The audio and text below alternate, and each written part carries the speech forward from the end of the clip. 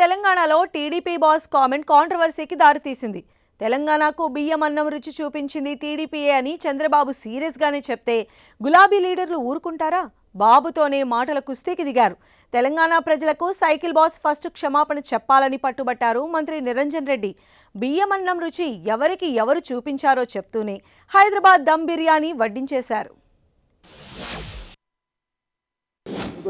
రాకమునుపు తెలంగాణలో జొన్నలు రాగులు లేకపోతే సజ్జలు ఇలాంటి తినేవాళ్ళం. మొట్టమొదటిసారిగా తెలంగా తెలంగాణలో బియ్యంతో అన్నం వండుకొని తిన్న ఘనత రెండు రూపాయల కేజీ బియ్యంతో ప్రారంభమైంది. ఆ విషయం గుర్తుపెట్టుకోవాలి. కనీసం అవగాహన లేకుండా మాట్లాడినటువంటి తీరు ఖండనార్హం తీవ్రంగా ఖండిస్తున్నాం. ఆయన క్షమాపణ చెప్పాలి తెలంగాణ ప్రజలకు.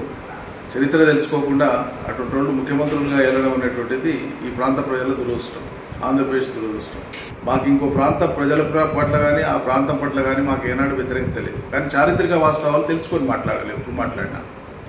తెలంగాణ మొత్తం భారతదేశంలోనే తొలి వరి అన్నము తిన్నటువంటి ప్రాంతం. పదహైదో శతాబ్దాల నాటికే హైదరాబాద్ బిర్యానీ